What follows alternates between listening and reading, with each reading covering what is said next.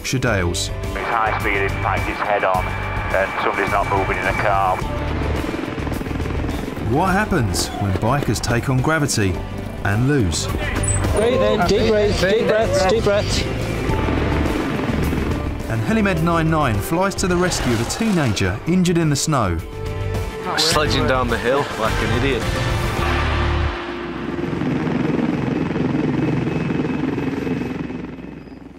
Yorkshire's flying paramedics get a bird's eye view of some of England's most stunning countryside. The dales and moors are where the speed of the helicopter comes into its own. When the winter sun shines, Appletreewick in the heart of the Yorkshire Dales is a favourite lunch stop for keen ramblers. But nearly 1500 feet up on a peak overlooking the village, one walker is going to be going hungry today. Georgina Marsland has broken her ankle after a nasty fall on a hilltop footpath, and her friends have just dialed 999. Uh, we're just coming over Ladder stile, and uh, Georgina, I don't know, the last or next to last rung, just fell off. Presumably her foot was caught in the stile, and there was this awful crack. We were heading for lunch at the Craven Arms, which I've just rung and cancelled, unfortunately. Georgina and her friends are waiting for help from above. Helimed 99's on the way. Uh, we're flying to Appletreewick. Um, it's a lovely, beautiful area, popular with walkers. It's quite isolated where we're going, so we'll hopefully be able to uh, airlift her maybe to the ambulance or maybe into the hospital. Yorkshire's a big place from the air. There's 6,000 square miles of it. And paramedic Sammy Will's job is to find an injured walker in a red coat. It's not easy. These are the group of trees going up Trollers Gill. so it should be this side. Oh, looking down Uh, on the it should be yeah, down there. On this shouldn't ridge, yeah. The team have only been told Georgina's near an isolated farm in a remote area of rugged Wharfedale. So this farm that's below us now, Steve, has someone just come out and is looking up at us? The farm we just passed over. Yeah, the farm we just overflow. The local land ambulance is having trouble finding Georgina too. The ambulance has shot back off into the same town, hasn't it? Yeah. And about 99, yeah, we're, uh, we're over the, this detail at Appletreewick. Uh, we're able to locate the uh, patient. Do you know if the uh, land crew have an area where the patient is or if they've got the patient on board? Just stand by, ring the call about cover. And about 99, Roger. Dr. Jez Pinnell is used to this problem. 999 callers often don't provide the most accurate information. Yeah, people often panic, particularly if someone's quite poorly. Um, so yeah, maybe d- just give scanty information to the to the telephone operator. So yeah, we often find that what we what we get is different to what we uh, what we, what we expected to get. Stop control, Helimed 99 receiving. Hello, 99 receiving York Control. I'll give the caller a ring back and see if we can get any better locations for you. They did tell us they were just south of Dalehead Farm. Okay, I'm getting a wave at this farm, the guy in the field. There's a gentleman furiously waving to try and get your attention just south of Dalehead Farm. He's on the track, yeah. Is he waving, He was waving, yeah. Okay, we'll go down and see him, shall we? We'll have a field chat. next to him, yeah? Yep. Okay. About 99, yeah, we've got visual of the gentleman that's on the phone to you now. Roger, thank you. He's running down the path, Stephen. Yeah. Do you want to stay here, Sam, and I'll go talk to him, see where the patient is? Helimed 99 doesn't often land to ask for directions, but today they'll make an exception.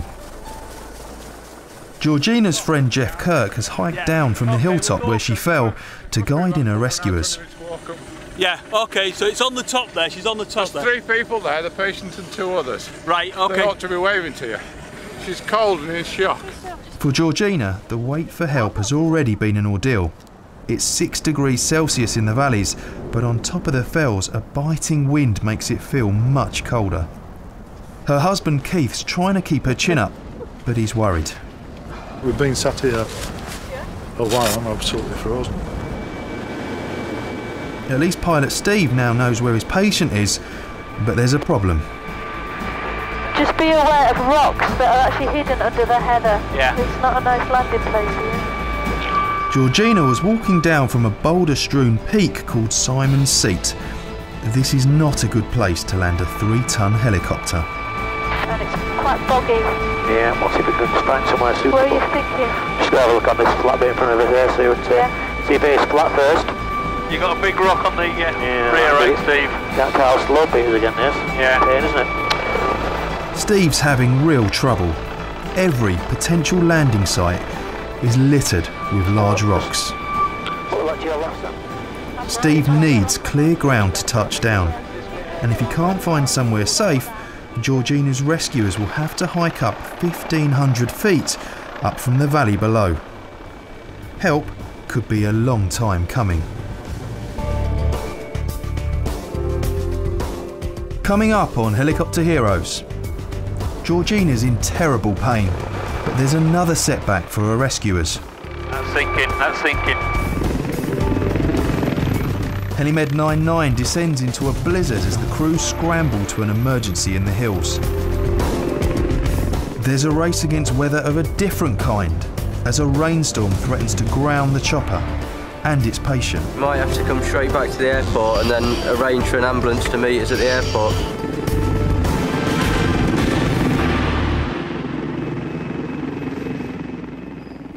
The paramedics reckon that in two years on an air ambulance, they will treat as many serious injuries as some colleagues on the ground will see in a whole career.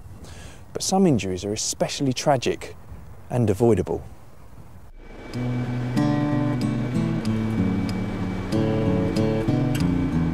The Yorkshire Dales are a playground for millions every summer, but the crags and fells look down on communities that often aren't as idyllic as they seem. I work in the rural area of uh, the Dales up in North Yorkshire and um, it does have its social problems.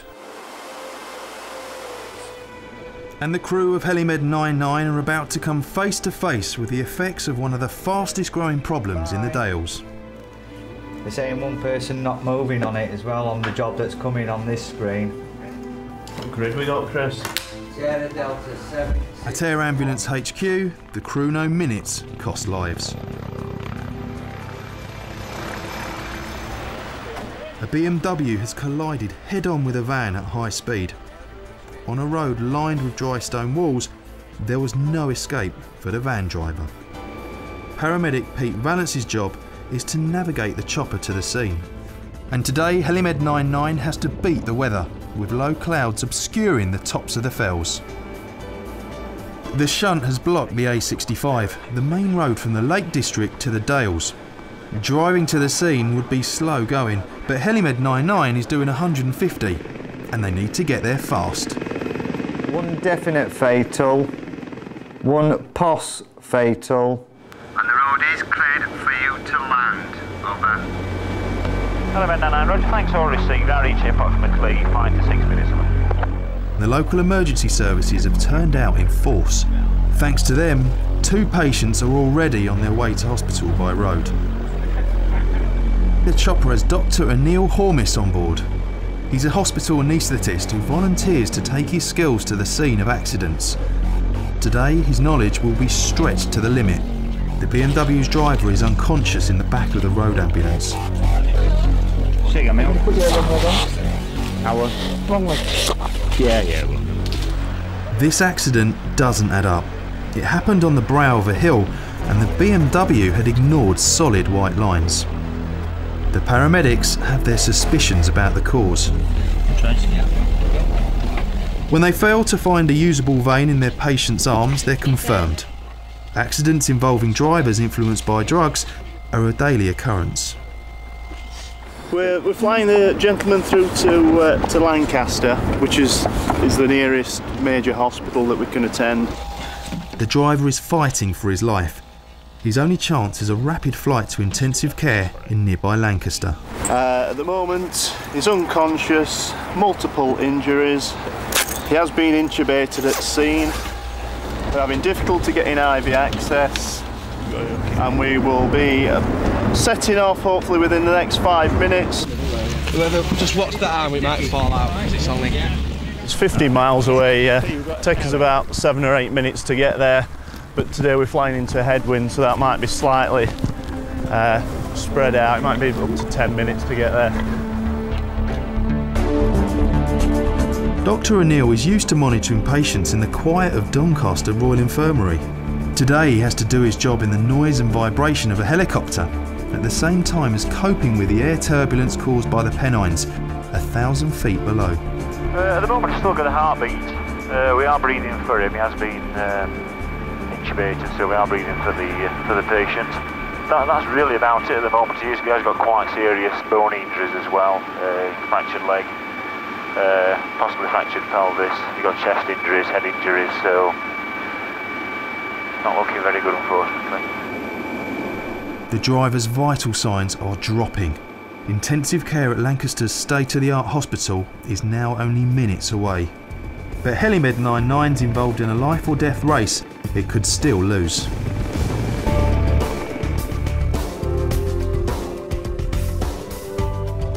Coming up, doctors begin their fight to save the driver, but his family think they know why the accident happened. His driving was erratic, it's too fast. A walker needs help, but will she get it? That's sinking, that's sinking. Sliding. And paramedic pools on standby as daredevil bikers show off their skills.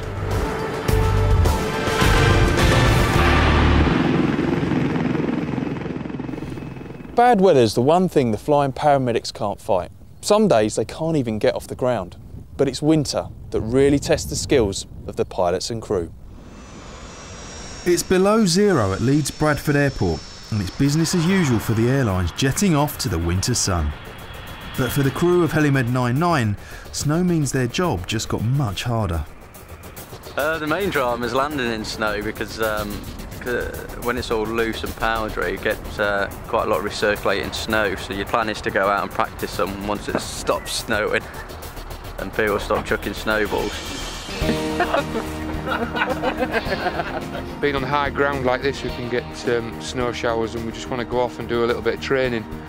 Um, just to be able to do some snow landings, we've got to keep up to date with that it's uh, quite a dangerous operation if we get a call. Pilot Tim Taylor wants to practice the most difficult part of winter flying landing. And so he's heading up into the rugged Peak District. What they're about to try is difficult and potentially dangerous. The snow cloud engulfs the aircraft, so you lose all visual references outside. Yeah, you'll get a whiteout. So you, you try and let the pilot know exactly where the snowstorm is before you get to, before it gets to him. The tail, the door, with you. Tim's flying blind in a mini blizzard. Just before touchdown, he decides to have another go. One wrong move and they could crash. But this time, there's no mistake. Helimed 99 is down. Tim's done it. We don't get that much snow in the UK, so like today when we have got some, we've, we've come out and practiced just so when we do use them in anger, um, we're fully prepared uh, and know what, it, what it's going to, uh, the experience is going to be like. But now Tim and the team will have to do it all again. For real. High on a hillside in the Pennines, a land ambulance crew have hiked for miles to reach 17 year old Joe Haig, whose afternoon out with his mates has ended in agony. Sledging down the hill like an idiot. He's complaining of low back pain. We basically called the helicopter out because of the remoteness and the fact that where we were, we'd be stranded. Even though the snow's now thawing in the valleys of West Yorkshire, there's still plenty left 2,000 feet up in the hills. And that'll be a first for me for um, a sledging job. People go sledging on the hills, um, which are quite inaccessible sometimes. Um, so the helicopter can help out the crews by uh, being able to get close to the patient. Landing up here won't be easy, but finding their patient in a bleak white landscape has its problems too. Here, quite a lot of people in the middle of the forest. I can't see anybody injured there, can you? No, I can't, they're all on their feet. There's somebody definitely waving in the middle there, which has been waving forever, since we've been going over. These three people here. Right in the middle of the trees, look, there's somebody there. With a blanket and everything. Ah, yeah, see. Yeah, yeah they're in the forest. Finally, Lee spots Joe and the ground crew hidden in the trees that brought his sledge to a sudden halt. It's going to be easier to come down with somebody rather than going up. Yeah. Okay. Come on, people. Move, move, move. Okay, dogs coming. Tim's training mission has paid off, but he couldn't see a dip in the ground concealed by snow. Falling down a bloody crater. But they're down, and now the paramedics can get to work. Well, we're up here, Pat, all there. Looks like it's a bit of a steep incline, but I don't know uh, what he's been doing sledging in here in the woods when there's all that clear area to go through out there. Hell, where is it? Well, best way down for this guy is going to be on a sledge. Hello. Joe's in pain and very cold. Grab that for me, Jack. We need to we need to organise to be able to get him off just off this incline a bit, which the best thing for us to do is just slide him down. Joe's going to hospital the same way he hurt himself, only this time someone's watching out for the trees. Okay, I'll hold him there. All right, let's just wait there a sec. Joe's mates think he's just bruised himself, but the paramedics know an accident like this can cause serious injuries. That's. It's levelling off now. It's levelling off now. That's worst. It's easy. That's it. He's not strapped to a spinal board for nothing. People have been paralysed by accidents like this.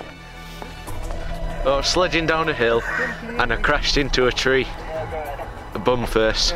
I tested the still out first and went down. Yeah. Then he followed me straight after and uh, went straight into a tree and smashed his back. I'm in quite a lot of pain. Ready, steady, lift. There we are.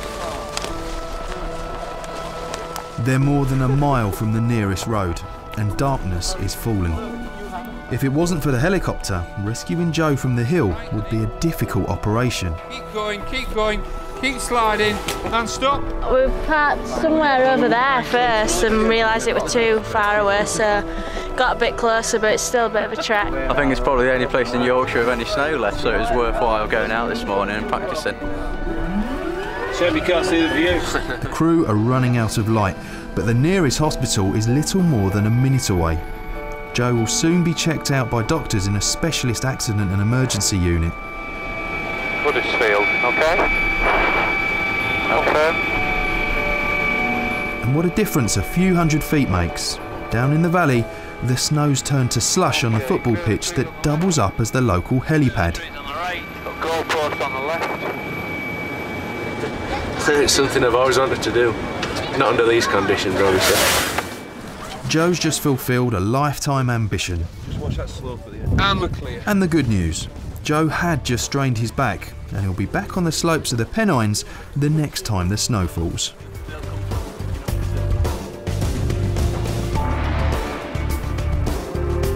Coming up, the story behind a rural car crash shocks the Dales. He was introduced to drugs probably when he was about 15. He took the life of his best friend. And there's a life or death race to get an injured biker to hospital. Blood pressure dropping.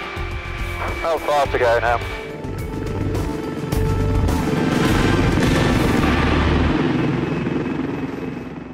But now, we're back in the hills of Wharfedale, where the local landscape's getting in the team's way as they try and rescue a walker injured on a remote fellside.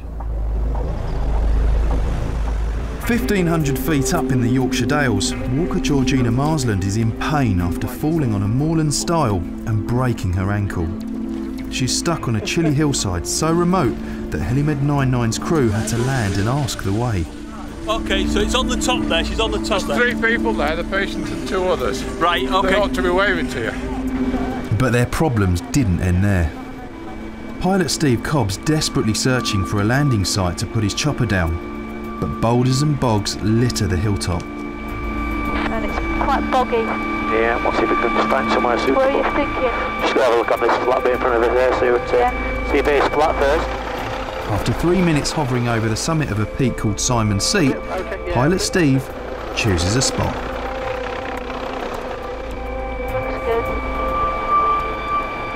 That's sinking, that's sinking. Sliding. Sliding. yeah, it's But he quickly has to change his mind as Helimed 99's landing skids sink into a bog. This time, Steve's taking no chances. Before he risks lowering three tons of helicopter onto the hillside, paramedic Pat Greekin's going to test the landing site for firmness. Just jump out the side, Pat, see if you sink into the uh, stuff. It's a real mixture, isn't it? Solid rock and bog. Bounce it down, out there. It's solid, and at last the team can get to work. Right, Georgina, pop this arm on. Just want to try and keep you well covered on her. It's probably broken her ankle. It's uh, not difficult. We can't get her boot off at the moment to have a look, but she's in a lot of pain. She can't put any weight on it. Uh, as you can see, we're uh, quite away from civilization. Helicopter's just up there, 100 yards behind us. Um, she can't walk up, but we might be able to carry her up on, on a spinal board, which is our plan A. Plan B is uh, mountain rescue, but obviously it's going to take them probably an hour to get up here, which isn't a problem, but it's just a bit cold, and she's she's been here half an hour already. So we'll see how plan A goes. Pat's given Georgina morphine to dull the pain. Elsewhere, this would be a minor injury, but on top of the Dales, even the most trivial incident can turn into something life threatening. The team's patient is getting colder. She must be moved. Uh, we're going to try and get the lady up to the air ambulance. We're going to we've the lady uh, morphine, then we'll put the lady onto the spinal board, and then slowly walk her up. Georgina's ankle will need setting in hospital. A splint is the best they can do here. One, two, oh, three. Push back. And at least they can lift her off the wet ground. One more. Do again. Shall we have a wander up and just see how? Let's just, because I really think it's. Yeah. Meanwhile, Sammy and Dr. Jez are trying to find a route back to Helimed 99 up a steep, slippery hillside. Roger that, I'll just get myself tucked down in a blanket then. Yeah, make yourself comfortable. At the top of the hill, at least someone's warm. He's just uh, Steve's just making himself comfortable in the aircraft with the uh, with a blanket, uh, keeping out the wind, keeping himself warm. You're going to like this, Georgina. But Jez and Sammy come back with bad news. It's just really slippy underfoot. There's a lot of rocks and uh, it's not too steep and it's not too far. But our, our stretcher isn't really designed for carrying people up the sides of mountains. Is It's an extrication device. The state of play is we're going to wait for mountain rescue or fell rescue to help carry you up because it's just a bit too, Too steep and slippery. Okay. Georgina needs the specialist equipment that only the local fell rescue team will have. And they could be an hour or more. I've just asked Jeff, who was a gent that met us at the bottom of the hill, if he wouldn't mind going back down again to meet Fell Rescue to ex- uh, tell them exactly where we are, because we don't want uh, Fell Rescue delayed getting up here. So I'm quite conscious of how cold it is up here and how windy it is. Well, certainly if it gets a bit cold in this and in the, in the wind, she's, she's out of the wind behind the wall. But yeah, people can get um, can become hypothermic, but she, she isn't at the moment. It's something we have to bear in mind. Luckily, Sammy has some special equipment of her own in the rucksack. The bothy is a sort of two person tent. It's cosy and could be a lifesaver. It's a big factor, and, and I've learnt a lot from Mountain Rescue that, that cold does make a patient more uncomfortable. Um, so we've, we've padded, we've put things underneath her, and then just getting rid of the wind takes a, a makes a big difference. That's as soon as you said, isn't it? It's, made, it's made Yeah, a huge difference getting inside. I was saying I feel really bad. You know, I'm sure there must be somebody else who needs it more. Um, and it just seems so silly. But but usually, we're, I mean, we are prepared when we go walking. We'll make sure we've got the correct clothing and, and footwear. But um, even though they're strong ankle boots, it's it's Accidents the ankle that happen. hurts, yeah. It looks like Georgina could at last be in sight of the hospital treatment she needs. But when Dr. Jez speaks to Fell Rescue, there's another problem. I had a bit of a difficulty getting people out um, because obviously they're volunteers and uh, I think people are away on holiday as well. The other difficulty they've had is um, getting hold of a, a stretcher and they're telling me the nearest one might be Grassington or somewhere now. I'm not from round here, but I think that's quite I think that's quite a way away. Keep your feet warm. The experts and equipment Georgina needs are still out of reach, and it's getting colder.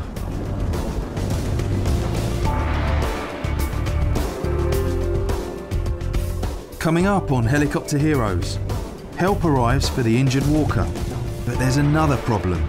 We'll have to take her up on the spinal board, but with as many people as possible. And a biker takes on a rock face and comes off worst. Fallen away from his bike and uh, hit his leg on a bit of a rock.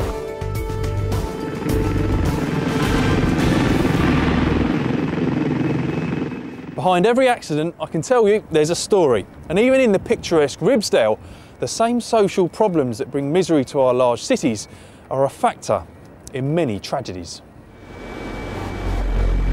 The busy road linking the Yorkshire Dales and the lakes has been blocked. A BMW has crossed the double white lines and collided head on with a van. The car is on the wrong side of the road. The passenger has died. The driver has massive injuries, but he's alive. Helimed 99 has Dr. Anil on board today. He's an anaesthetist and takes over the patient's breathing as they rush him to Lancaster Hospital.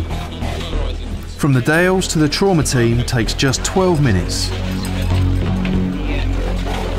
The patient's family are all informed about the crash and are rushed to the hospital to be with him.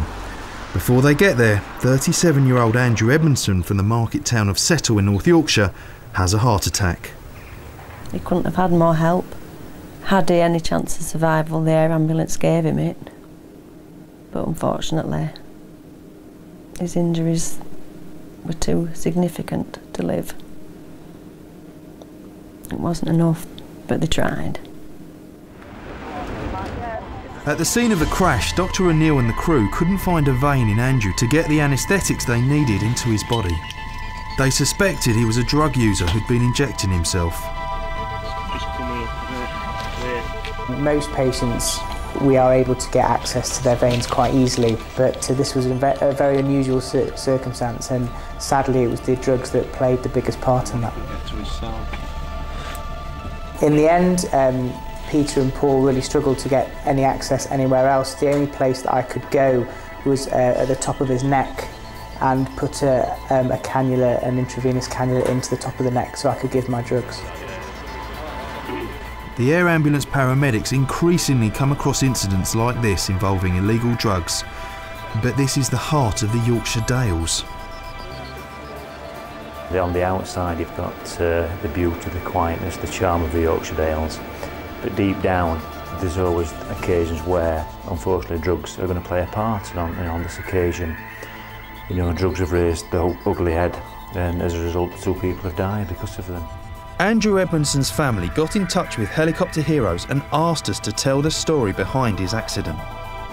His sister Sharon Holt wanted to say thank you to the people who tried to save her brother, and sorry to those whose lives have been devastated by the crash. She also wanted people to know that drugs can kill, even in the heart of a national park. He took the life of his best friend and traumatised countless other people. His driving was erratic. It's too fast. He overtook on double white lines on the brow of a hill. That's not the actions of somebody that's thinking. He was introduced to drugs probably when he was about 15 and was still addicted to heroin when he died. They were going to take his life in one way or another, whether it was this way or something else. Helimed 99's paramedics know from experience that no matter how quaint the setting, drugs are around and they can impact on the daily life of a rural community in the same way as an inner city.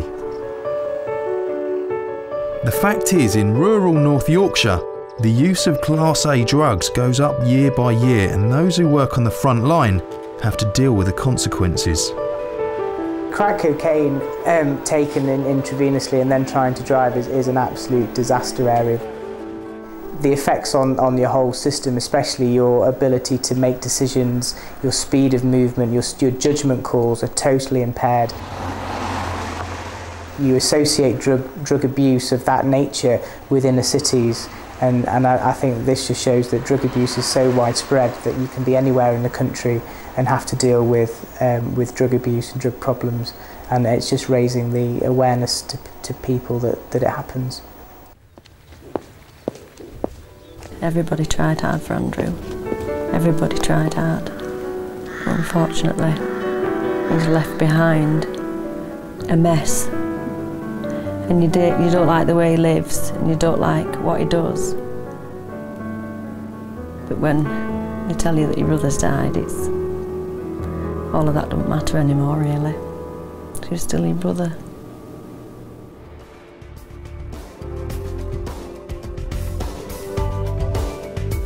Coming up on Helicopter Heroes, rescue is on its way to an injured hiker. So wh- where's your helicopter? Just there, back of that rock, top that oh. rock. Oh.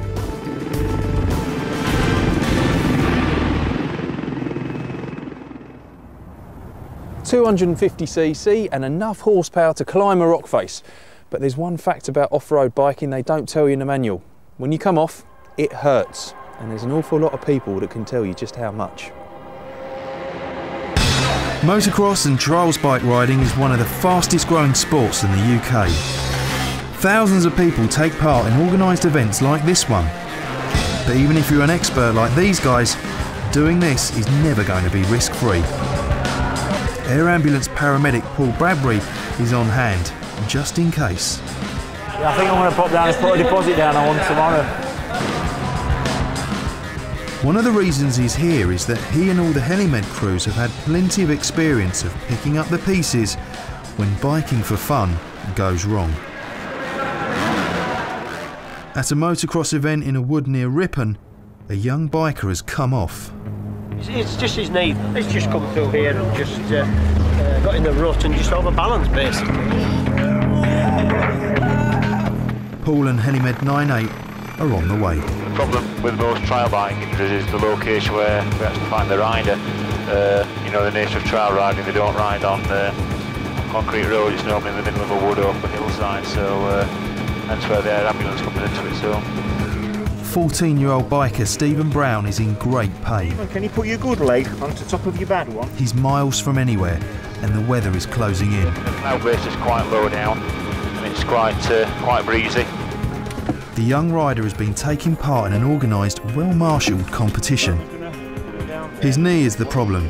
After the fall, it isn't where it should be. The paramedics give him Entonox, gas and air, for the pain. Good lad, good lad.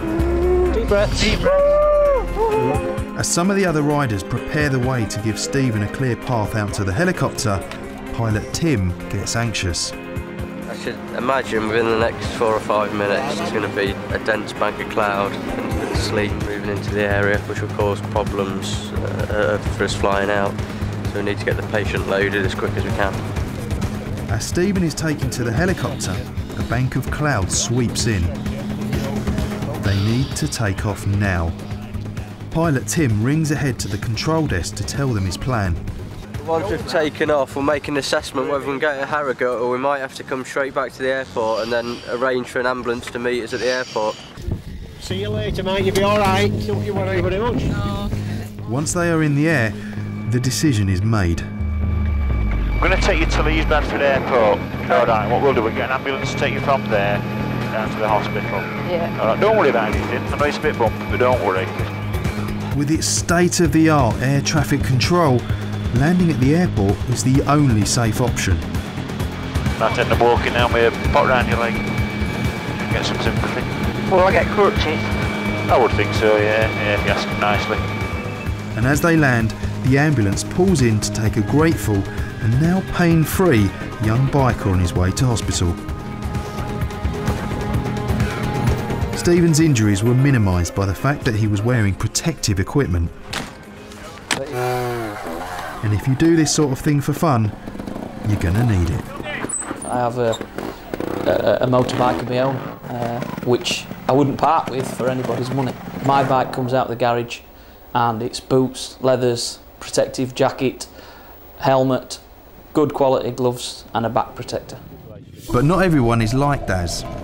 Up and down the country, legions of young bikers on common ground are a frequent sight. Riding illegally, no supervision, without the right kit. Ambulance service, okay? And incidents like this in South Yorkshire are becoming all too common. Yeah, this guy's um, got a nasty head injury. Um, we need to just get uh, some things under control. First of all, his airway, um, and then we'll uh, take it from there. Yeah, very serious. You're doing well, that's grand, absolutely grand. We're going to fly him to Northern General in Sheffield. It's only about uh, three or four minutes away, so it shouldn't take us too long. They only go out to have a good time, and I would be the last person in the world to stop them, you know, wanting to enjoy themselves on, on a motorbike. I've, I've done it myself. But the piece of kit that they don't wear is invariably where they'll get injured. If they don't wear the boots, they'll get a broken leg. If they don't wear a helmet, they'll wind up with a fractured skull or worse. Blood pressure dropping. Varying into How far to go now? yeah, pupils, are they reacting? Was he on the back of the other lad that was Yeah, there? Was yeah. he? Back of his bike. Yeah, that's why there was only one bike. He, he fell off without a helmet. Within a few minutes of leaving the scene of the bike smash, the crew touched down at the Accident and Emergency Unit at Sheffield's Northern General Hospital. They have done everything they can. I've fallen off a bike many, many times. So far, I've managed to get up and walk away. But I would definitely say that's down to some decent gear. Daz and the crew of Helimed 99 are on their way to a wooded area near a railway line somewhere near Rotherham. Sometimes when they set off the location details are all a bit sketchy. It's the second, well anyway, yeah, look. Alright. The Air Ambulance's unit manager Mick Linley is back on the shop floor today as a paramedic. If the well can't track, you can't miss it. Well, what, you said that yesterday. What's the uh, job we're going to anyway? Motorcyclist. On the track, off a cliff. Whee. 45 year old Glenn Lees has been trials riding for years, but no matter how good you are, if you fall down a cliff, it's gonna hurt. They were just going up those rocks there, and then all his weight went on that leg, and basically, that was it. The motocross event that Glenn's been riding in is a downhill and uphill test of skill, and he's right at the bottom of the downhill bit with a badly broken leg. Can I just get there with you and just have a little, a little squint at him? Pulling away from his bike and uh, hit his leg on a bit of a rock. Glenn's wearing all the right protective gear, and before Daz can give him morphine for the pain, they need to get some of it off. Hey. Now, two choices with this. Do you want me to cut it or do you want to lift it over your No, head? I'll take it off, it's no problem. Let me help you then. And that's gonna hurt too. Pull your head in. Ah! Alright. Right, listen, this might make you feel funny. After Daz has delivered the morphine shot, the carrying crew can begin the climb up. And it's tricky when you're lugging a big biker with a broken leg. We're going here, we're not going up there, surely. The biking community sticks together when one of their number are hurt. It's been an uphill struggle, and Glenn's stretcher bearers are relieved to see the top of the hill. Keep going, keep going, keep going, and down. Yeah, lovely. And another of Helimed 99's biker patients is on his way to get fixed.